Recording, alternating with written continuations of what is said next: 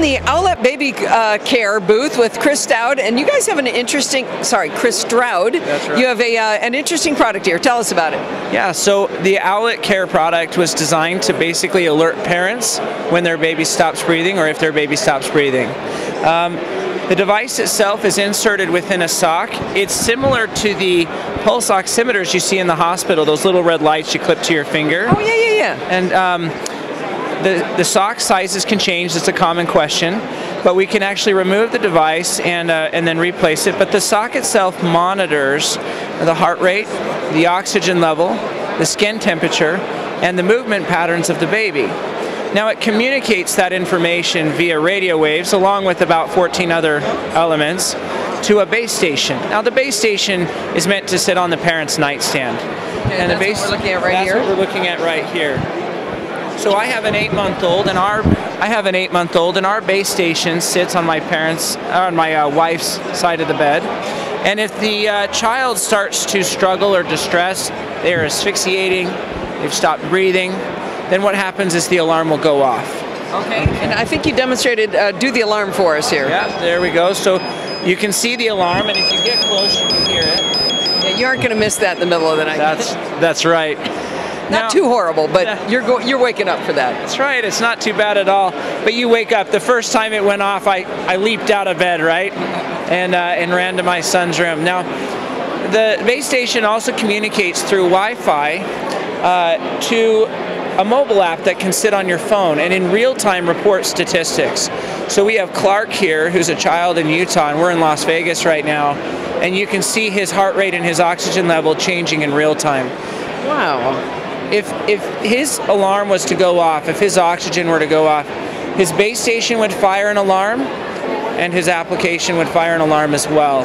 So even though Clark's dad is at home and Clark's mom is here, you know, they would both know about it. Wow, that's pretty cool.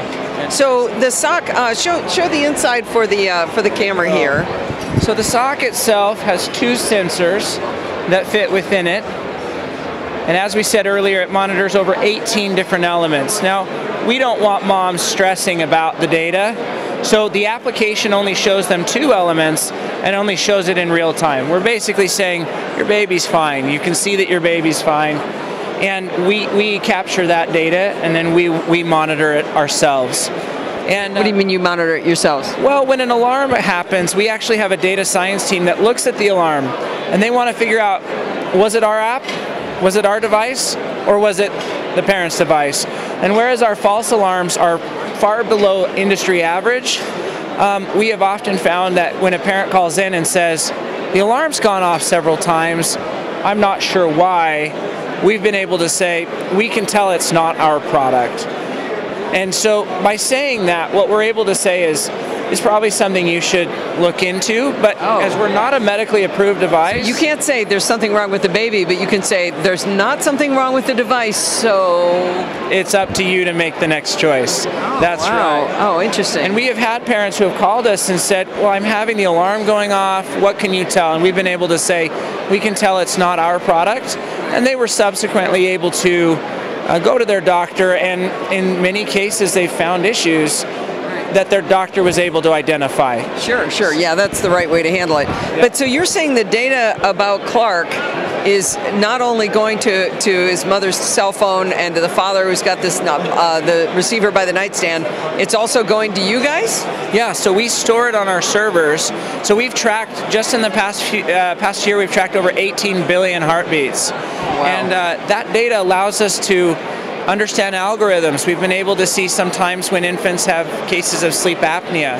Now, again, we're not we're not a medically approved device yet. We're going through clinicals. And uh, we are being reviewed by the FDA, as in going through that process of being approved by them, and we're hoping to have approval in the near future.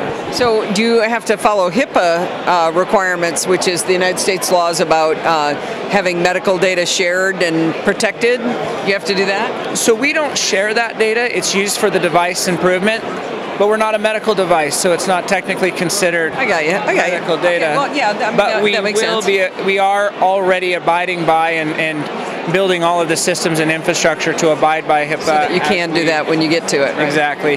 But technically, if the FDA were to say, "What are you doing?" they would first say, "Well, you're not a medical device, so Yeah. this is right, how right, you, right. this data is assisting you in the improvement of the device."